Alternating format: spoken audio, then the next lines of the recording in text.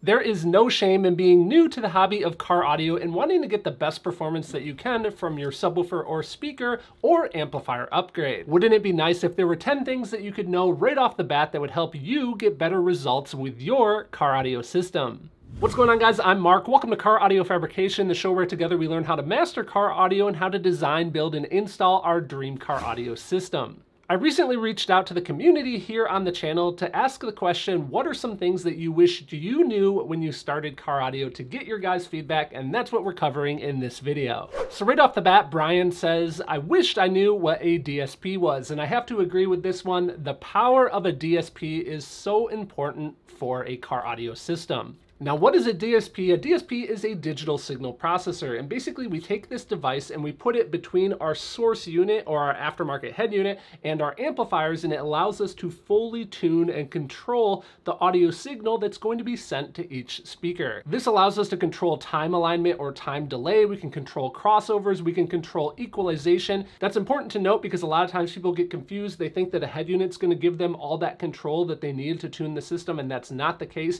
You need to have that control control at each individual speaker, and having the DSP allows you to do that. Now, the second thing I wished I knew before I got started in car audio was how to properly research what I was going to need for my vehicle. In today's day and age, vehicles are complex, and if you're doing something like upgrading a factory head unit to an aftermarket head unit, you're going to need different wiring harnesses. You might need an integration part that's going to allow your aftermarket head unit to talk to the data signal in your vehicle. When you're upgrading speakers, you're going to need particular speaker adapters. There's a lot of different parts that you need to research. Where can you find all of that information? Information? Well, a website that I like to use, and they also happen to be the sponsor of this video, is Crutchfield. Now, I've used Crutchfield for many years, long before I started the channel. That's why I feel so good recommending them to you guys. And what you can do with their website is you can enter the year, make, and model of your vehicle. And if they've done the research on your vehicle, you can see exactly what parts you're going to need in order to install these different aftermarket components.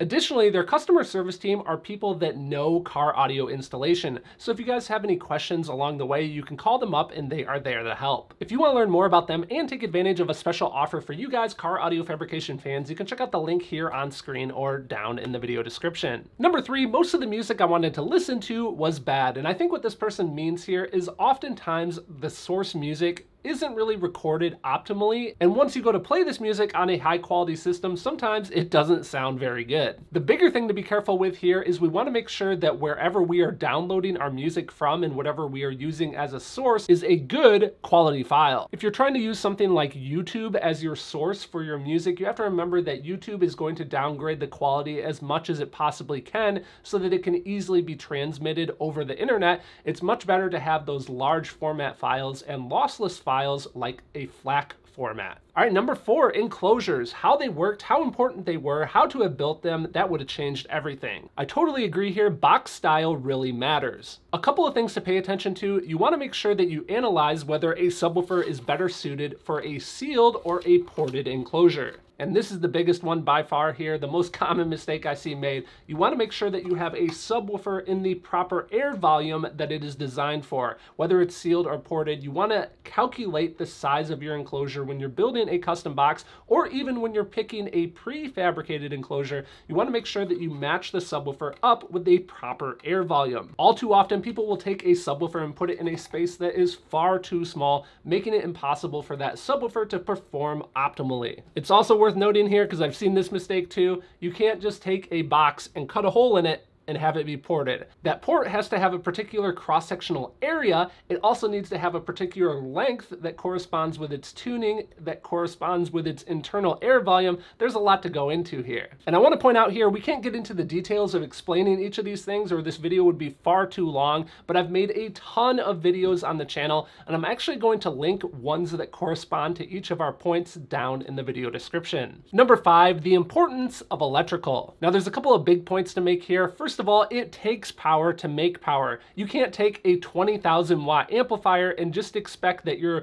tiny little factory alternator is going to provide enough current to the amplifier to produce that 20,000 watts. The wiring is also super important. You can't expect that you're going to take a little 16 gauge power wire and use that to run an amplifier that requires a ton of power. You're not going to be able to have all that current going through the wire without it starting on fire. The other big one here is proper fusing techniques. When you install an amplifier, you need to have a fuse on that connection between the battery and the amplifier. And a lot of people think that that fuse is meant to protect the amplifier, but that's not actually the case. It's meant to protect the wiring. If the wiring shorts out, we don't want the wiring to have infinite current shorted to the battery and start on fire. We want that fuse to blow instead. Again, if you guys want to see full details on everything I'm talking about here, I have a related video down below. Number six, tuning with proper tools and not just by ear. Now, of course, what your ears hear is important, but when it comes to adjusting the gain on our amplifier or making sure that we're adjusting to a target curve,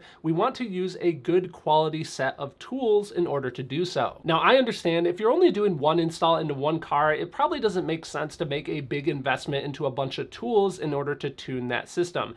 So a couple of suggestions for you when you're looking for an amplifier, look for one that has a feature that allows you to set the gain and it has a light that will illuminate when it detects the clipping. Also, there are tuning microphones out there that you can use with just your phone. So if you're on a budget, I'd recommend checking out those things as well. Number seven, I've always known about sound deadening, but it didn't really hit me on how important it was until I actually installed it. It makes a world of difference. It can almost make factory speakers sound halfway decent. Definitely true. Sound treatment is not a waste of money. I think that there's this idea that, you know, I want my music to be loud, so why would I install something that's going to make the noise go away? Because it makes the noise go away, not your audio, it makes the noise reduced. With proper sound treatment, we get rid of annoying vibrations and resonant noises, and we can also reduce the noise floor in the vehicle, which means we don't have to play the speakers as loud for them to sound as loud to our ear.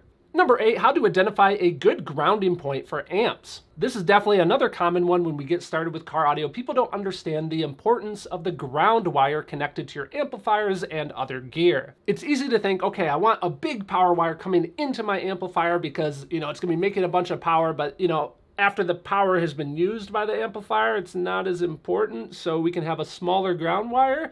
That's not the case. You have to remember in an electrical system, it's all about the full circuit, the full signal path. So if we have a big power wire coming into our amplifier, we also need a big ground wire coming out of the amplifier. We also need to be very sure that the ground wire is a good ground. You can't just go and connect to some random screw in the vehicle. You need to properly test each of these locations that you plan to use. And if there's not a good location to use, we need to make a good ground location. Again, full details on how to do all that down below. Now, number nine of things I wished I knew before I got started is what I like to call buy once, cry once. When you start your car audio journey, you're no doubt going to be picking out different gear, so you're going to be making comparisons between different gear. And it can be easy to see, okay, this amplifier makes 100 watts RMS, and this one makes 100 watts RMS but this one's less expensive, so I should go with the less expensive one, right? That's not always the case. You need to do your research because the more expensive amplifier might be more expensive for a reason. Perhaps it's made of better components. Perhaps it has better reliability. Perhaps it's going to sound a lot better. My point here is do some research. Don't just purchase on price alone. Now, number 10, and I want to highlight the final part of his comment here.